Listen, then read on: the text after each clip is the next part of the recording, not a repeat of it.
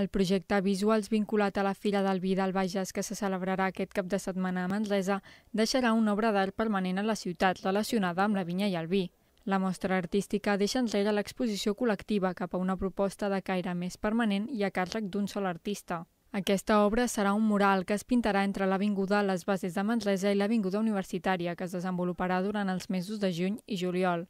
El mural comptarà amb el disseny de la taula d'arts visuals de la Catalunya Central i estarà comissariada per Marc López, expert muralista manresà.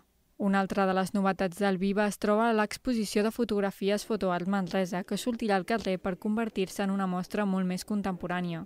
Sota el nom El món del vi, el públic podrà gaudir de les fotografies de 10 autors al carrer Arquitecte Oms entre el 3 i el 12 de juny.